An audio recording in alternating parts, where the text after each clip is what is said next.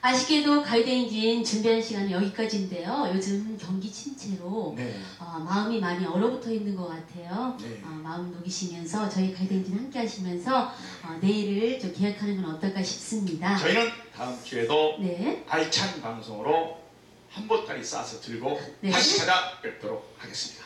여러분 감사합니다. 감사합니다.